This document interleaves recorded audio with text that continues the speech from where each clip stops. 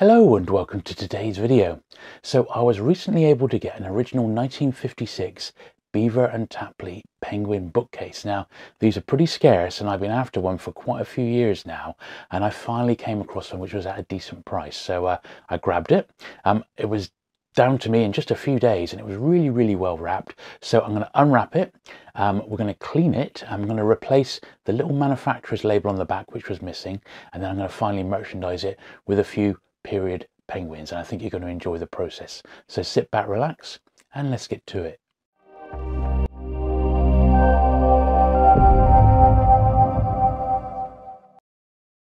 Okay, then, so this was how the bookcase arrived, and boy oh boy, was it well wrapped up. Absolutely incredible, really, and um, I was quite worried about how the bookcase was going to survive in the postal system. Um, it's original wood and um, it's 60 years old, so I was admittedly a little bit, a little bit apprehensive, shall we say, about how it was going to um, be wrapped up, um, because the person I bought it off didn't exactly have hundreds and hundreds of bits of feedback, and uh, I was happy to see that it was uh, more than well wrapped once I took off the brown paper, you could see inside that the uh, the bookcase itself was uh, fully bubble wrapped, and that was all I really wanted. And it had been sent by Parcelforce Courier, which is one of the bigger couriers over here. And this is uh, this is a that's the picture of one of the uh, adverts for the uh, the bookcase. That was like the logo that uh, Beaver and Tapley used. And I've probably been after one of these at a decent price for probably two years or so. Um, this was the little booklet. And you could sometimes find this booklet in Penguin books of the period. So you have the wall mounted one and the, uh, the version which is freestanding with the little feet, which is the one that I've got. And uh, yeah, these were released in 1956. And the company was called uh, Beaver and Tapley.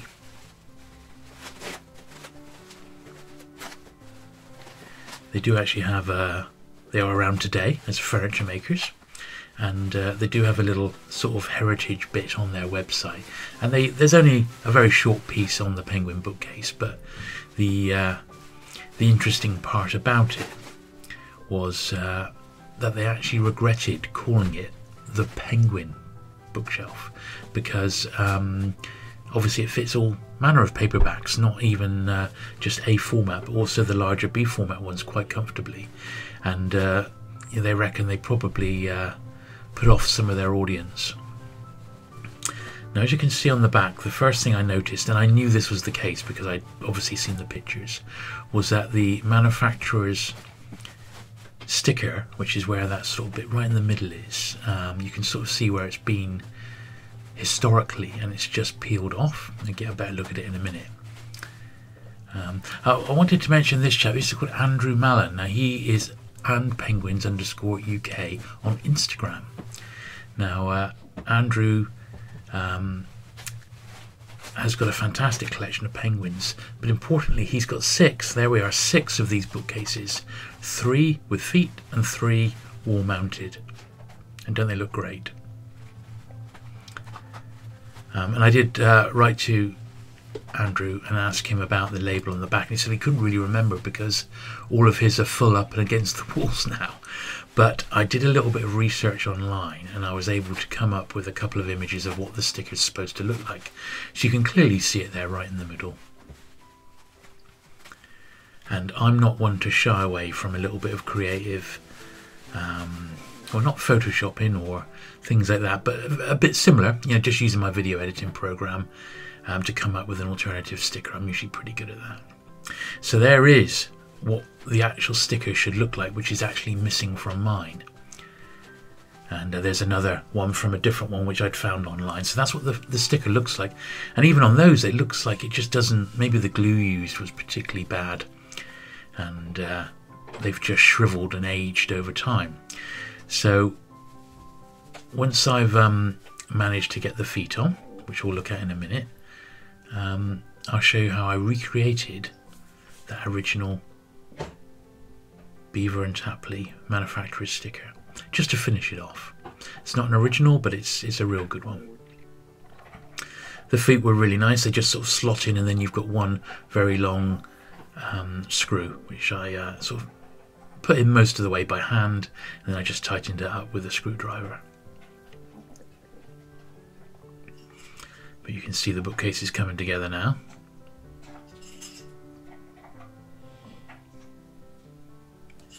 I can definitely see if you got a few of these together how it could become quite addictive.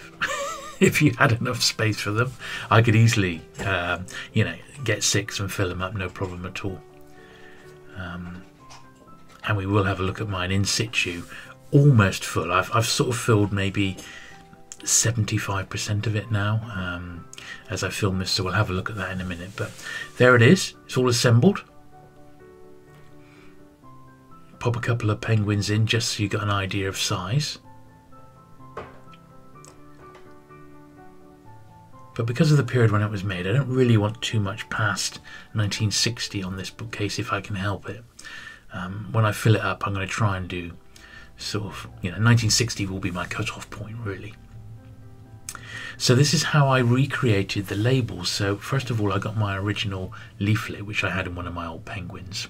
And the bit that I was looking for was that penguin holding a bookshelf in his arms. Because that is the logo that they used on their label. So I've scanned the original leaflet and I'm just trimming it down now to the correct size. So I'm just left with the label. Now obviously this is our, from a white piece of paper. So if I was to drag that onto uh, you know my mock label, it's going to be uh, it's going to have a white background, which I don't really want. So I'm taking this finished piece here, this finished little cropped penguin, and I'm going to need to drag it into another little website. So where I can remove the white background and turn it into a clear well it's called a PNG file. But basically what that will do I'll be able to pop it into my own editing software and it will be clear. So that's what I'm doing here now.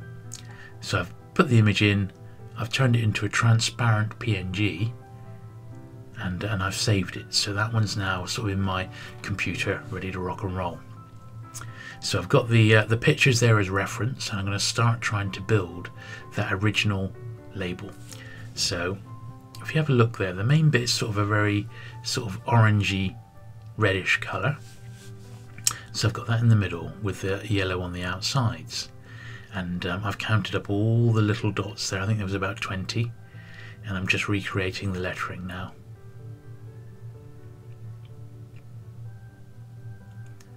Just referring back to it each time. There we go. So I've got my uh, little penguin logo moved in. Popping in the text now getting it to the right font and the right size. I said I just had these two pictures as reference, so I've had to make my best guess, but uh, I think it's coming out alright.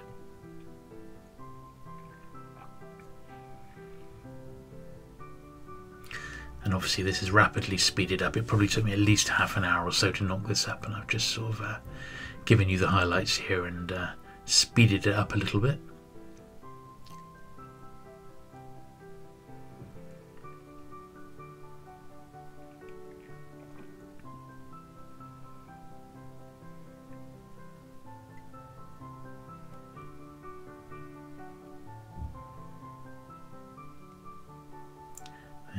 Just going to bring in some black now to get it to the approximate size. It's almost there looking good. And there we are. That's sort of the finished, um, the finished version, which I've now saved as a folder. So then I just um, popped that onto a bit of A4 um, and did it in various sizes um, until I found the one which was the right size for the bookcase. And there it is. So um, just need to trim that one out. So I've backed it onto some cardboard and I've used some Pritt stick there just to stick it down really, really flat. And now I'm just uh, going to cut out the actual bit. It's, so as I say, it's on stiff card now, so it's uh, It's a bit more rigid. It's ready to be stuck onto the bookcase. There we are. There's the finished finished item.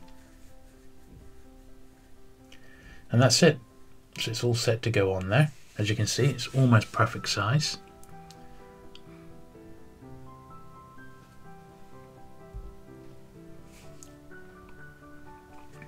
But before I did that, I thought I'd better give the bookcase a bit of a clean.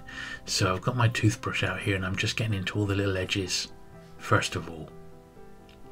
Obviously this is uh, over 60 years old now. It looked like it had had a cursory clean, but not into all the little little crevices and uh, little adjoining pieces. And uh, that's where my handy toothbrush gets in there, sweeps all that dust up before I give it my own like little polish.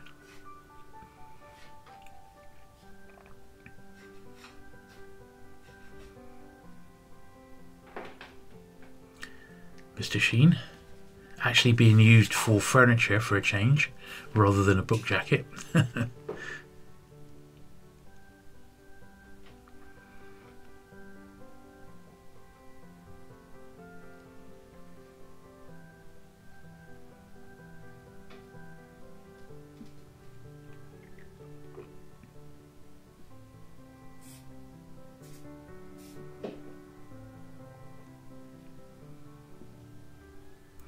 and it really didn't come out too badly. There's like a little bit of uh, luster on it. I think the actual um, brand of wood is uh, Nigerian walnut, I think it's called. And it is uh, very, very nice, quite sturdy. Um, these sort of thin bands, because we're looking at it from the back of the uh, the bookcase, they just help. You know, you can push the books in all the way to the back, and they remain sort of a uniform distance from the back of the actual bookcase.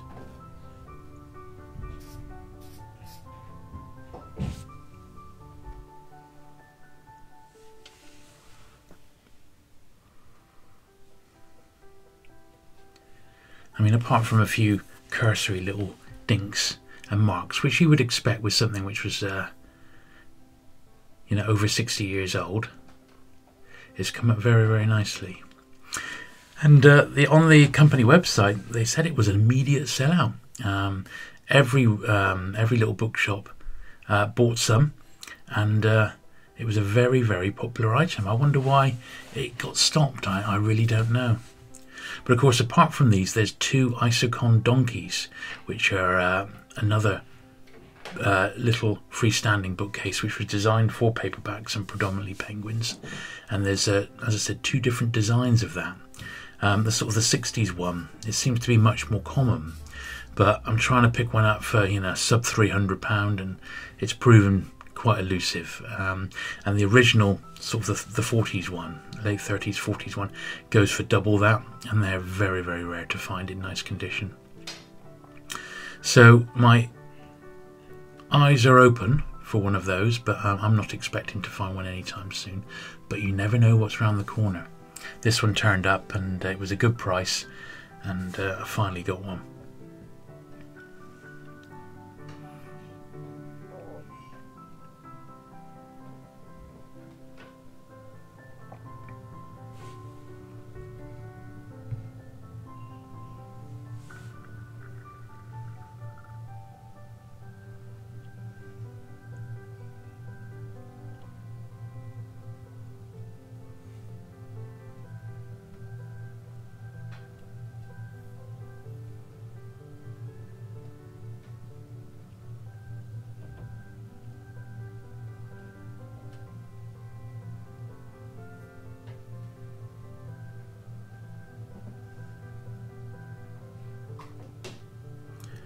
Lovely, so that's all looking really nice.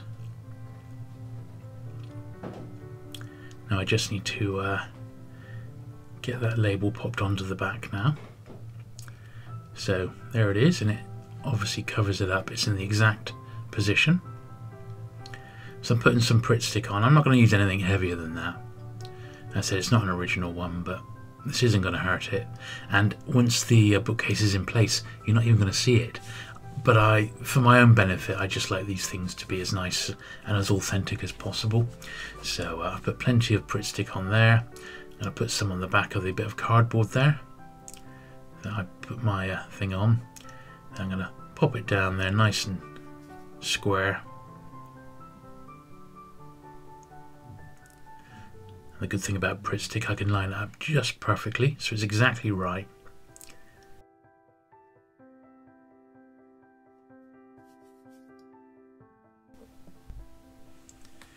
Now I'm just using a piece of paper to uh, push down and get it on as uh, snugly as possible.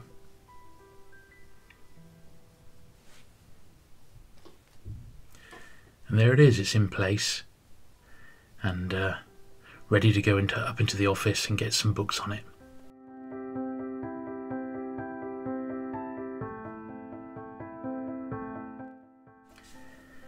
So here is the 75% full bookcase.